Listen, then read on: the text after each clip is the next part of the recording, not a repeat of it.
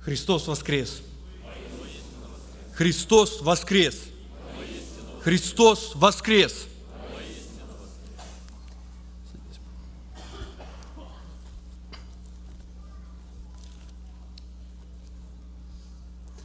Иисус живой.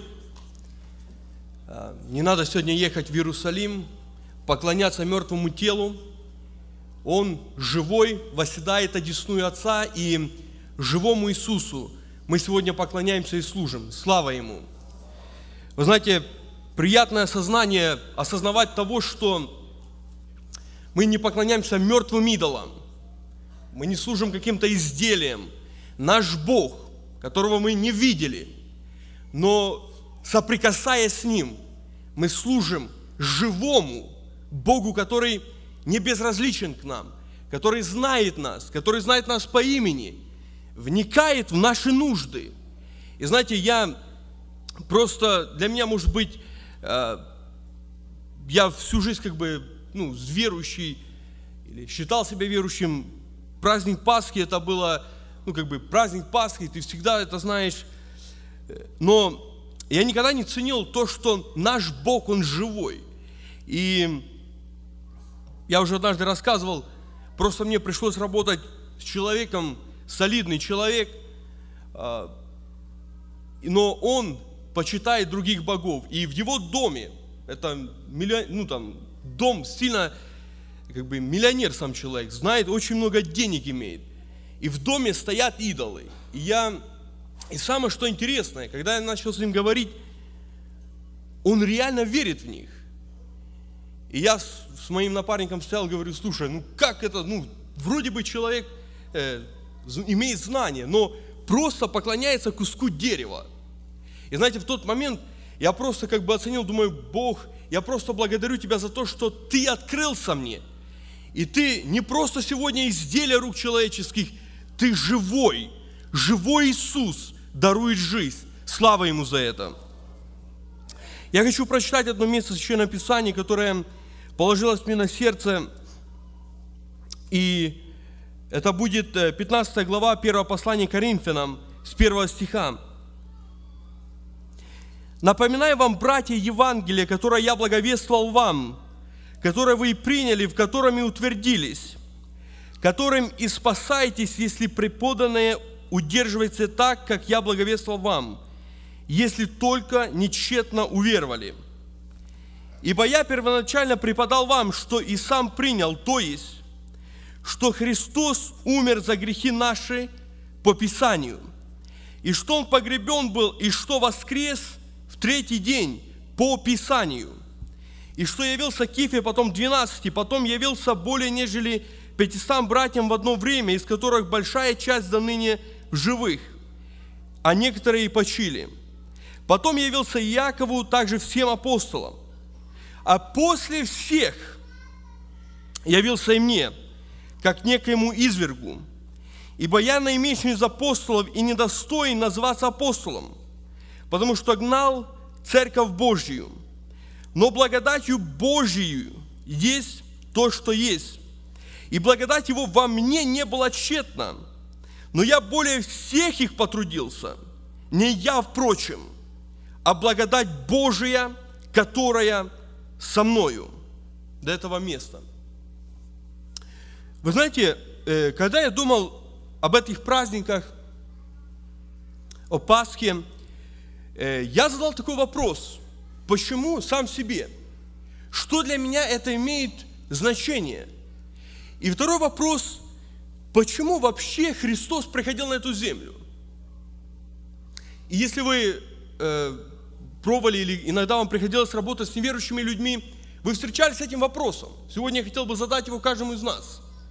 Зачем Иисус приходил на эту землю? Какая самая главная цель? Зачем надо было оставлять славу неба? Величие, то, что у него было. Все это надо было оставить и прийти на эту землю. Ради чего? И Библия нам дает ответ. Очень коротко, это третий стих. «Ибо я первоначально преподал вам, что и сам принял, то есть, что Христос умер за грехи наши по Писанию. Одна цель, миссия, которую имел Иисус Христос, придя на эту землю, умереть за грехи наши. Вы знаете, очень часто, когда сегодня в наших церквях, э, других, можно, знаете, услышать мысль там, Христос исцеляет, и люди, знаете, реагируют. Христос дарует победу. И знаете, это как-то зажигающе. Знаете, самая первая евангелизация, которой я, мне приходилось участвовать, как-то говорить о грехе, как-то вот сказать, что Христос пришел, чтобы просто простить грех, это как-то, ну, оно просто как, я не знаю, как лускаешь семечку, ну, это, это такое проезженное. А вот сказать, Христос исцеляет, вот это сила – Христос крестит Духом Святым. Вот это сила. Знаете, и люди так вот захватывающие, да, что-то необычное.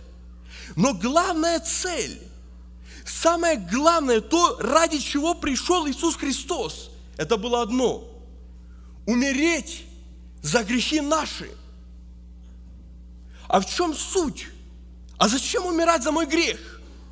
Лучше дать мне исцеление, да? Лучше у меня там рак, я не знаю, почки отказали. Лучше мне исцеление. Иисус это делал. Но это не было главным. Главным было умереть за мой грех. А в чем опасность греха? Зачем умирать за мой грех? Ну, если человек сильно грешен, то, может быть, и надо, а я, например, не очень грешен. У меня есть мелкие грехи, все грешат. Зачем умирать за мой грех? В чем опасность греха? И знаете, я понял одну вещь, что самое опасное, то, что было и есть до сих пор, это грех, которым мы рождаемся. Это грех, который в нас, это наша греховная природа. И знаете, я для себя сравню, или как бы, с чем я сравню грех, в чем опасность его. И однажды мне пришлось услышать историю одного человека, который строил другое здание. Это было большое очень здание, они разрушали старое здание. И на этом старом, на старом месте старого здания надо было построить новое. Но как они разрушали его? Здание находилось в городе, большое очень здание. Его надо было взрывать. И заложили динамит. И говорит, этот человек, я как о, э, владелец этого здания, здания, мне дали кнопку, нажать на кнопку, чтобы взорвать динамит. И говорит, я нажал кнопку. Послышался взрыв, но здание стояло на месте, это было очень большое здание. И говорит, прошло, по-моему, он сказал, несколько там секунд, до минуты. И все обрушилось. Знаете, вот так точно грех. Он захованный в нас. И мы очень часто думаем, а, ничего страшного. А что, никто не видит. Снаружи я хороший. Но его действие такое, что после времени он разрушит. Он разрушит меня как личность в этой жизни и не только в этой. Самое главное, грех affected или сильно повлияет на мою жизнь после смерти. Это вечность. И Иисус Христос, видя это, Бог, видя это, настолько любя нас, понимая, что грех разрушит нас, не даст нам попасть к Богу, Он посылает своего Сына – и самое то, что большое чудо, которое сегодня происходит с нами, происходит с другими людьми, это когда человек получает прощение грехов. Когда, будучи рабом греха, когда, будучи скованным в цепи греха, он приходит к Иисусу. И это самое большое чудо, которое есть. Это больше, чем получить чудо от рака, больше, чем получить крещение Духом Святым. И не хочу сегодня как бы, но самое большое – это то, что когда человек приходит к Иисусу и падает в цепи греха, он получает прощение. И знаете, эти дни я просто благодарил Бога за то, что я прощенный. За то, что через Иисуса Христа не надо зарабатывать, не надо как-то что-то прилагать, сделать. Все, что нужно прийти к Нему, поверить и получить прощение. И через прощение грехов в этой жизни, и более того, в жизни после смерти – Бог нам дает вечную жизнь. Я хотел бы просто сказать Ему слава за это, слава Иисусу. И знаете, интересный момент. который пережил апостол Павел. Он очень сильно пережил это. И теперь я хочу перейти на практическую, может быть, часть. Давайте посмотрим на апостола Павла. Знаменитый человек, молодой человек, успешный, учится в самом высшем учебном заведении у ног Гамалиила на то время, образованный, я не знаю, какой там степень образования, ревнитель по закону, непорочный, по-моему, так о себе говорит, да, исполняет закон. Вроде бы казалось, жизнь вот только впереди, только живи и радуйся. Свою жизнь полностью сделал. Но пришло то время, когда он идет специальным заданием, и он встречается с Иисусом. И на этом пути, когда на этой встрече, Библия говорит, или он сам о себе говорит, что когда он познал Иисуса Христа, то все, что для него было преимуществом раньше, он почел щитою за мусор. Братья и сестры, вы знаете, когда мы соприкасаемся с Иисусом, когда мы по-настоящему получаем прощение, возрождение и новую природу, остальное все, оно просто мусор. Но знаете, какую проблему я вижу сегодня? Буквально на прошлой неделе э, я заехал в одной магазин, в один магазин, и меня остановил один человек, э, молодой. Я остановился, мне как бы, я разговаривал по телефону, закончил, и он стоял это все время и ждал меня. А потом говорит, слушай, у тебя есть мелочь, дай мне немножко денег. У меня не было с собой абсолютно денег никаких, и я говорю, слушай, денег у меня нету. Но я хочу сказать тебе другое. Я говорю, сколько тебе лет? Он говорит, 29. Мне говорю, тоже будет. Мы на одних, а, на одном возрасте. Я говорю, знаешь,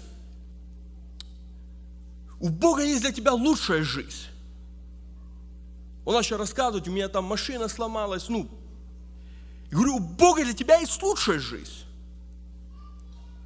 Он говорит, о, да, я знаю, достает брошюрку какую-то, Говорит, I do my religion, я делаю мою религию. Вот я читаю каждый день. Я говорю, это не все. Это не то, что Бог хочет тебе, чтобы ты просто брошюрку читал. Бог хочет поменять тебя. И вы знаете, в процессе разговора я уже был как бы настолько прям, говорю, слушай, посмотри, в чем ты находишься. У Бога есть лучше для тебя. Но меня поразило другое. Он говорит, знаешь, я думаю, что у меня все нормально. И вот этот момент, сегодня он есть у многих людей. Люди не поняли, что они грешные. Люди сегодня ждут от Иисуса Христа что-то другого, хорошей жизни, богатства, но только им не надо прощения грехов. Это не то, почему они хотят Иисуса. Это в нас сегодня есть. Когда просто Иисус, может быть, когда-то Он мне пригодится, я просто прихожу в церковь, но не сейчас – что произошло с апостолом Павлом, когда при всей его праведности, исполнения закона, в кавычках, когда он встречается с Иисусом, дальше он говорит сам о себе. После его встречи он говорит такую фразу в другом послании. Он говорит, моя жизнь – Христос. Знаете, Христос не только пришел облегчить наши страдания, не только пришел облегчить нашу какую-то жизнь, он пришел и сделал больше. Он хочет поменять нас внутри.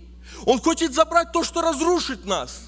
То, что в конечном результате, как этот динамит, взорвет нас. Он хочет забрать грех. И на месте этого греха поселиться и быть хозяином моей жизни. Сегодня, заключая эту проповедь, я хочу просто задать каждому из нас вопрос. Многие из нас сидят, которые здесь, мы считаемся верующими – но верующий человек – это тот, который встретился с Иисусом, это первое. И второе – это тот человек, который может сказать, для меня жизнь – Христос. Сегодня, если бы ко мне подошли и задали вопрос, что для тебя является жизнь? Моя жизнь и поставили прочерк. Что бы я туда поставил? И знаете, здесь одна важный момент – Многие из нас повторяют эту фразу, ну, как в церкви, «О, для меня жизнь Христос». Но действительно ли это так? Знаете, когда человек говорит, моя жизнь – это деньги, вся его жизнь, все его планы, они сделаны для того, чтобы достичь денег. Когда человек говорит, моя жизнь – это семья, все, что его жизнь, его планы, весь его график, он настроен на то, чтобы поднять семью. Когда апостол Павел сказал, моя жизнь – Христос, то когда мы смотрим его жизнь, то вся его жизнь, весь, все его планы, весь его график заключался в одном – служить Иисусу Христу. Сегодня проверить, в чем моя жизнь, очень просто. Это просто взять мой дневник и посмотреть, какие планы, к чему я стремлюсь. Вы знаете, беда в том, что многие люди так и не поняли суть пришествия Иисуса Христа. И самое важное, они не пережили воскресение Иисуса внутри. Когда живой Иисус встретился с апостолом Павлом, это было реальное изменение. Апостол Павел сам о себе говорит, я был извергом. Но после этого, после встречи с Иисусом, благодать Божья, она начала трудиться во мне. Дорогие мои, дорогие друзья, братья, сестры, все, которые находятся на этом месте, сегодня важно очень понять, пережил ли я встречу с Иисусом, понял ли я, закончилась ли миссия Иисуса Христа во мне. Могу ли я сегодня сказать, Иисус умер за мой грех, не за моего мужа, не за моих детей, за мой грех. И самое важное, живу ли я для Иисуса, Могу ли я сказать, моя жизнь – это не просто ходить в церковь, моя жизнь – это не просто петь псалмы, моя жизнь – это Христос.